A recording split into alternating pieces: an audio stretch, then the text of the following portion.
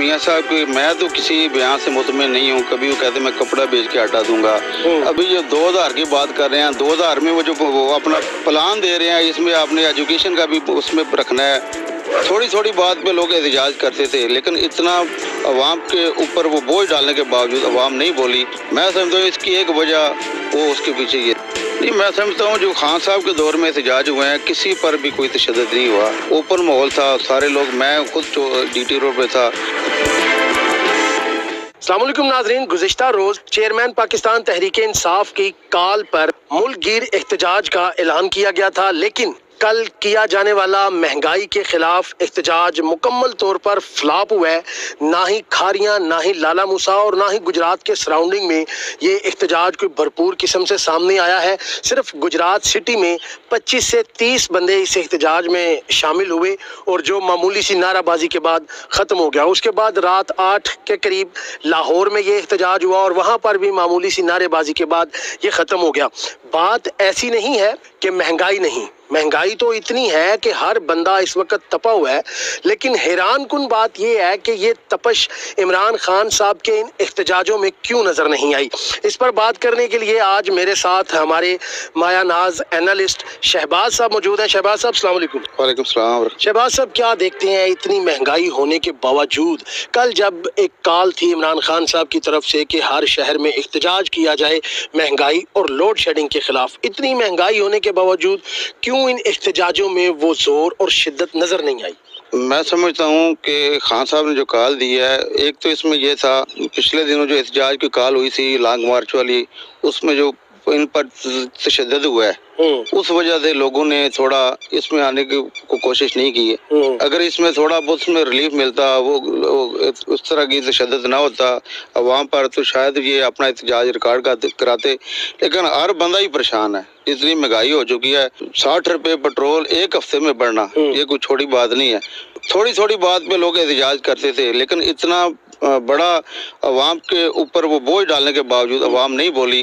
میں سمجھتا ہوں اس کی ایک وجہ وہ اس کے پیچھے یہ تھا۔ یعنی آپ سمجھتے ہیں کہ وہ رانا ثناء کے جو پرتشدد بیانات تھے یا جو پرتشدد ایکٹیویٹیز کروائی گئی ہیں ان سے جو عوام یا پی ٹی اے کے کارکنان جو ہیں وہ خوف زدہ ہو چکے ہیں۔ بالکل بہت سے لوگوں پہ ایف آئی آر ہوئی ہے۔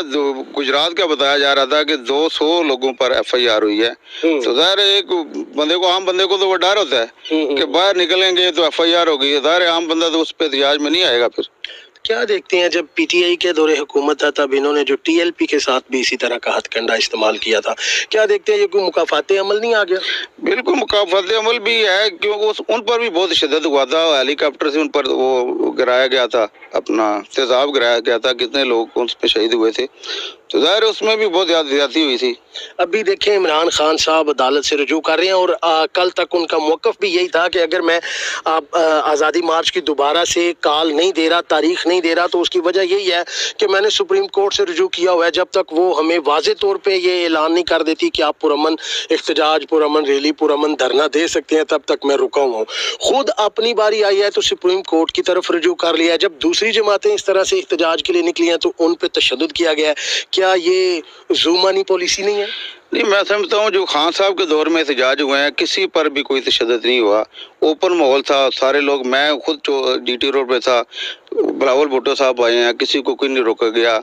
مریم آئی ہے دوسرے جتنے بھی احتجاج ہوئے ہیں مولانا صاحب آئے ہیں کسی پر کوئی تشدد نہیں ہوا۔ تو میں سمجھتا ہوں یہ خان صاحب کی اچھی پالیسی تھی کہ انہیں جو اس وقت اس کو دھرنے کو ختم کیا ہے دوسری ابھی جو جو سپریم کورٹ میں جانے والی بات کی انہوں نے کی ہے میں بھی سمجھتا ہوں وہ بھی ایک اچھا تھا کہ اگر اس طرح جس طرح کا ماحول بن رہا تھا اس طرح کا حالات بن جاتے تو ظاہر لوگوں کو کی جانوں کا بھی خطرہ تھا۔ میں سمجھتا ہوں یہ خان صاحب کی اچھی پالیسی تھی۔ ابھی بھی انہوں نے میں سمجھنا اچھا اچھا فیصلہ کیا کیونکہ جتنے وہ جو معاملات چل رہے ہیں نا یا سپریم کورٹ کر رہی ہے یا وہ دوسرے ادارے کر رہے ہیں وہ آپ کی پتہ ہے؟ تو میں سمجھتا ہوں سپریم کورٹ پہلے بھی رات کو بارہ بجے کھلی ہے۔ تو ظاہر ابھی بھی وہ سپریم کورٹ بھی ہونا چاہیے کہ وہ ان کو اجازت دیتے ہیں یا نہیں دیتے میں سمجھتا ہوں یہ خان صاحب کا اچھا اقدام تھا سپریم کورٹ سے رجوع کرنا۔ ٹھیک ہے اتنی مہنگائی جو تاریخ کی پہلی دفعہ اتنی بلند سطح پہ چلی گئی ہے اس کے بعد کیا دیکھ رہے ہیں؟ عوام میں رد عمل کیسا ہے مجھے تو جو کل کی صورتحال نظر آ رہی ہے کوئی بندے سائیکل خرید رہے ہیں کوئی سائیکل ڈھونڈ رہے ہیں کوئی گھوڑا ڈھونڈ رہے ہیں وہ ترکی کے ڈرامے دیکھ دیکھ کر گھوڑوں کا شوق بھی اس وقت ہماری قوم میں پایا جا رہا ہے کوئی گھوڑے ڈھونڈ رہے ہیں کوئی ٹانگا ڈھونڈ رہے ہیں۔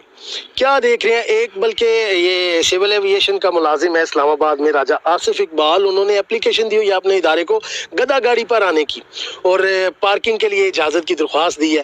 آپ کیا دیکھ رہے ہیں اس مہنگائی کے بعد عوام کا کیا رد عمل ہے؟ اصل میں یہ وہ یہ سائیکل ڈھونڈنے والی بات کوئی نہیں وہ لوگ مذاق کر رہے ہیں۔ الحمدللہ ہم جس ایریا میں رہتے ہیں یہ بڑا ڈیولپ مالی طور پہ مستحکم ہے تحصیل کھاریاں اس کے باوجود لوگوں پہ اثرات ہیں۔ جن جہاں پہ یہ سہولیات نہیں یا جن لوگوں کے باہر فیملی کے بندے نہیں ہیں، ان کے حالات کیسے ہوں گے؟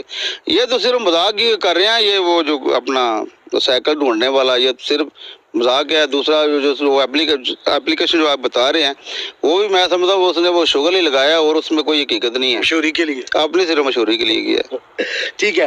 کیا کہنا چاہیں گے جو موجودہ حکومت ہے ان کو پتہ ہے آپ کو کہ گزشتہ ہفتے ایک کمپین سٹارٹ ہوئی تھی جس میں عام عوام کی طرف سے یہ مطالبہ کیا گیا تھا کہ ڈیموکریٹس بیوروکریٹس جن کو لاکھوں تنخواہوں کے ساتھ ساتھ حکومت فری میں پیٹرول بھی دے رہی ہے ان کا فری پیٹرول ختم کیا جائے یا جو عام بندہ ہے، جو مزدور غریب دہاڑی دار ہے، اس کو بھی پیٹرول مفت دیا جائے۔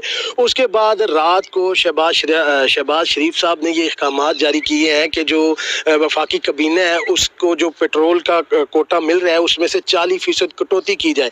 اس سے کیا اثرات پڑیں گے؟ مہنگائی میں کوئی کمی آئے گی؟ جب سے یہ میاں صاحب کی حکومت آئی ہے میاں صاحب کی میں تو کسی بیان سے مطمئن نہیں ہوں۔ کبھی وہ کہتے میں کپڑا بیچ کے ہٹا دوں گا۔ ابھی یہ دو ہزار کی بات کر رہے ہیں۔ دو ہزار میں وہ جو وہ اپنا پلان دے رہے ہیں اس میں آپ نے ایجوکیشن کا بھی اس میں رکھنا ہے۔ اپنا فنڈ اور اس میں اپنا اس کے بعد کرنا ہے۔ ایجوکیشن کا اور دوسرا دوسری چیزیں اور انہیں بتائیے پٹرول خریدنا ہے یا ٹکٹ خریدنے ہیں اب پورا بجٹ وہ دو ہزار روپے میں دے رہے ہیں۔ یہ بھی قوم کے ساتھ مذاق ہے۔ ٹھیک ہے جی بہت شکریہ شہباز صاحب۔ ناظرین، آپ بات سن رہے تھے ہمارے معروف اینالسٹ شہباز صاحب کی بھی۔ ان کا یہ کہنا ہے کہ اس وقت جو حکومت جو ہتھ کنڈے استعمال کر رہی ہے، وہ عوام کے ساتھ ایک بونڈا مذاق ہے۔ پیٹرول جو ہے، وہ دو سو دس روپے فی لیٹر کر دیا گیا ہے اور جو وفاقی کابینہ ہے، اس کے پیٹرول میں سے اگر چالیس فیصد کاٹ لیا جائے گا تو کیا عوام کے لیے اس میں پیٹرول کی قیمتیں کم کر دی جائیں گی، یا وہ پیسے عوام کو دے دیے جائیں گے، یا کوئی کسی طرح سے سبسڈی دی جائے گی؟ نہیں، ایسا کچھ بھی نہیں ہوگا، بلکہ یہ حکومتی خزانے سے تھوڑا سا بوجھ کم ہوگا جو واپس انہی کی جیبوں میں جائے گا، بلکہ عوام پہ نہیں لگے گا۔ اس کے ساتھ اپنے میزبان علی اکبر کو دیجیے اجازت۔ آپ سے پھر ہوگی ملاقات۔ اللہ حافظ۔